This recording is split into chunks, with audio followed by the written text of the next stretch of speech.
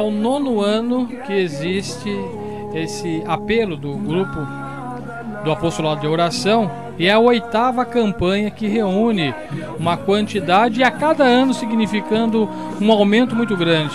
Nós percebemos aí há dois anos eu estive aqui e eu percebi que de dois anos para cá quase que triplicou a, a solidariedade, o amor e a contribuição. Por que, que teve essa, essa iniciativa do Grupo Apostolado da Oração para essa campanha ao Hospital de Câncer de Jaú? Há oito anos eu coloquei para o pessoal do apostolado que eu, fui, eu faço tratamento lá, fiz. E aí eu achei a necessidade dessa campanha. E eles aceitaram e a partir daí nós continuamos esses oito anos e se Deus quiser mais alguns anos. Bom, nas imagens nós estamos vendo uma visita pela casa da senhora, inclusive não tem nem cama, né? A senhora não dorme, porque a, a generosidade é muito grande. Como explica isso, dona Wanda, essa generosidade e agora esse momento contemplativo de oração, agradecendo a Deus por essa solidariedade? Eu acho que a gente tem essa força, é só o coração abrir para o amor, a gente consegue. A doação foi muito linda, foi maravilhoso tanto a parte dos mercados.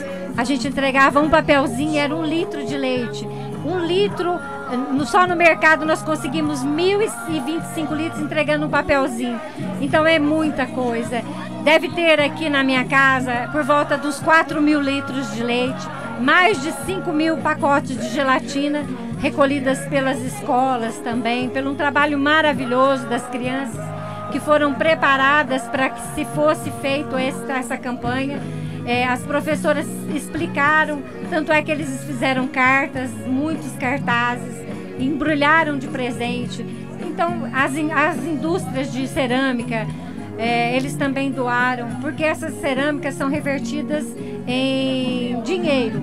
Tem uma feira que eles revertem em dinheiro é um bazar que acontece né, com as louças. Uma coisa me chamou a atenção e a senhora falou que foi justamente a participação das escolas. Eu vi que algumas caixas, né, alguns nomes da, das escolas, das creches, e eu percebi também algumas crianças carimbando as mãozinhas, porque eles não sabem escrever ainda. A senhora acha que é importante essa participação já desde da mais nova idade para mostrar solidariedade? isso era de umas isso é o ponto principal. Desde o começo da minha da primeira vez que eu fiz, nós já temos essa solidariedade das crianças e as diretoras é, sempre acolheram com muita força. Se eles aprenderem de criança, talvez seja mais fácil. Eu quero só pegar uma coisa para te mostrar. O que é que eu sou sem Jesus? Nada, nada, nada Jesus, o que é que eu sou? Nada, nada, nada. O que é que eu sou sem Jesus? Nada. As cartas das crianças para eles. Olha. É muito maravilhoso, é maravilhoso, olha. Uma mão com amor. Então é, é maravilhoso esse trabalho. Então a gente só tem que agradecer e louvar a Deus. Esses daqui são crianças que não sabem escrever. Eles não sabem escrever. Aqueles da escola, do ginásio, eles também fizeram o seu. Então são muitas as coisas, são muitos, muitos. Muitos, muitos, muitos. Olha. Todas da. Tá vendo? É, é, é uma infinidade, é, é uma coisa maravilhosa.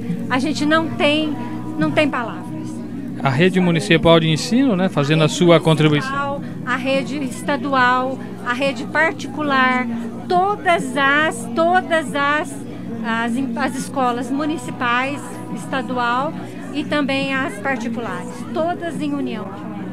Bom, e esse desafio não para. A solidariedade agora acabaram de, de rezar, agradecendo. O pessoal vai colocar a mão na, na, na massa, carregando o caminhão. Quero falar com a dona Adelaide Travagin que todos os anos a, a Ideal contribui, não é? Com, com o caminhão, acho que é importante. Dona Adelaide, deixa eu falar com a Dona Adelaide um pouquinho. Obrigado, Wanda. É importante esse, esse grau de solidariedade, cada um fazendo um pouquinho. E para a empresa também, esse lado social é muito importante. Graças a Deus, que beleza. Tá você deu, você deu o caminhão para carregar. Não é a primeira vez, é umas par de vezes. Muito bem, obrigado, viu?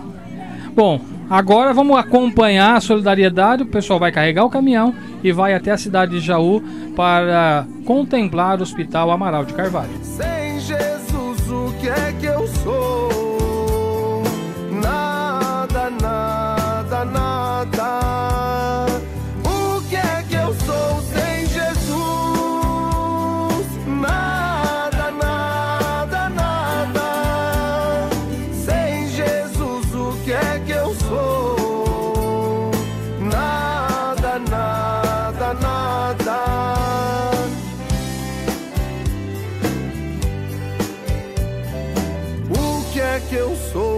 O